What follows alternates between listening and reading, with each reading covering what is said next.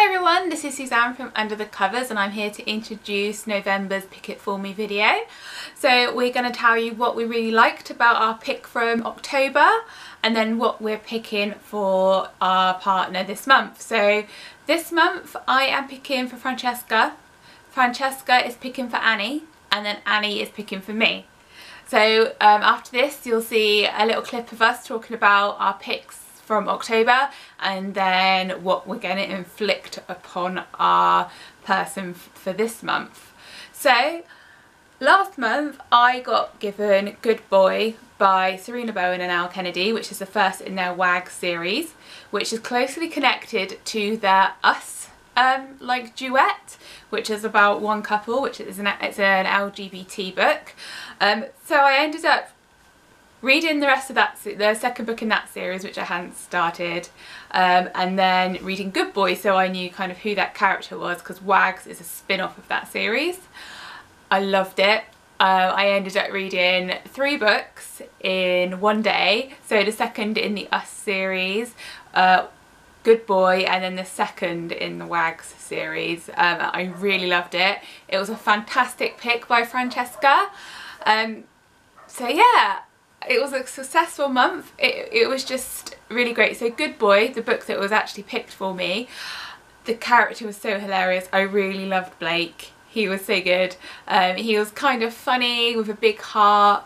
Um, a huge hockey player but he's just like a big teddy bear so if you want some uh, kind of a light-hearted contemporary romance which has um, just a big marshmallow of a hero and which will also make you laugh, then that is definitely the book for you.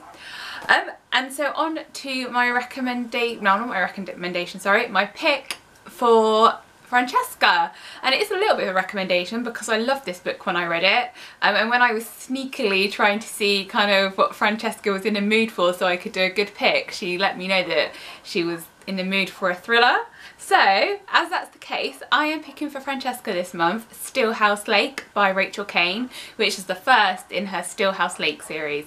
I loved it. Um, it was so good, so tense.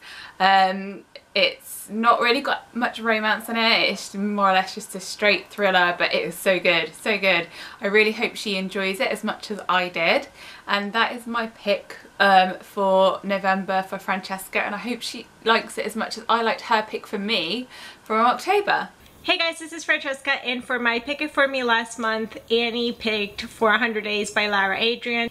This is the first one in an erotic romance trilogy and I was a little skeptical to start this because I love Lara Adrian and I've been putting off reading this series because I haven't really been reading a lot of erotic romance lately. But I'm happy to say that this had Lara Adrian's signature writing style. It really draws you in and I really cared for the characters. It is a billionaire type romance and it is a cliffhanger ending so you do have to read the whole trilogy so there's no HEA at the end of this one which I was a little mad about because I didn't really realize that you had to read the whole thing. But I really did enjoy what we got in this story. It was hot, it had great characters and great writing, and I'm really interested to find out more about them and see how their relationship develops further in the rest of the series. I ended up giving this a 4 out of 5 stars, so it was a win for me. So in November I get to pick for Annie and I wanted to pick Taylor Jenkins Reid and I debated which book of hers I wanted Annie to read this month and a lot of her books are a little bit more in the romance genre but I ended up going with the one that came out this year which is actually women's fiction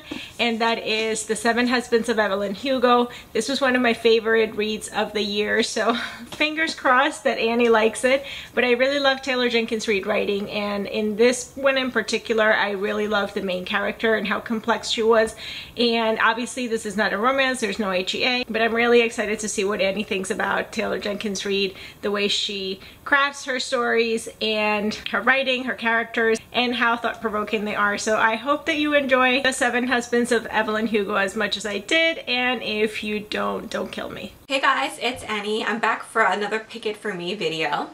So last month, Suzanne picked for me, and she picked a contemporary romance, and this book is by V. Keeland and Penelope Ward.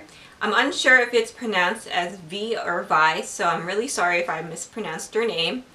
Um, but the book is called Stuck Up Suit. Now, Suzanne has recommended this book to me because she thought I would like the fun banter and the sexy romance, um, and I thought I would like it too. Um, I have never read anything by these authors before. Um, usually I steer away from these kind of books just because, um, I don't know, I'm not really into um, just your straight up sexy contemporary romances. Um, I like the ones that are a little bit, not necessarily more sweeter, but the ones that um, have a little bit more to it. Um, I did think that this book um, didn't really delve into quite as much as I thought it would. Um, and that's why I didn't really fall in love with this book as much. I did like the banter and I thought it was cute, but um, it's not a book for me that was really memorable. So I didn't really connect with the characters all that much. Um, and I did think that the writing was a little bit um, wishy-washy. It wasn't like my favorite narration. So all those things kind of played into how much I liked it in the end. I don't think I would be reading more from these authors again. It's just probably not my style, I guess um, which is why I haven't read anything from these authors before. I guess I kind of knew beforehand that it wouldn't be my style just from reading the blurbs and stuff like that. So if you want something that's a little bit more lighthearted, that doesn't have too much angst and it's a little bit more sexy, then you'll probably enjoy this book. Um, however, I do like a little bit more substance to my reads. So that's all I have to say for my pick for this month. So now I get to pick for Suzanne again. So my pick for Suzanne is going to be the pick that I originally wanted her to read, but I changed my mind last minute, and I'm going to go with Bec McMaster, Mission Improper. Um, this is the first book in her spin-off series of the London Steampunk series. It's called The Blue Blood Conspiracy. Um, I think she'll like this book. Um, I really like the world building and the hero and the heroine has great chemistry. So um, I do hope that she enjoys this book because um, she enjoyed the London Steampunk.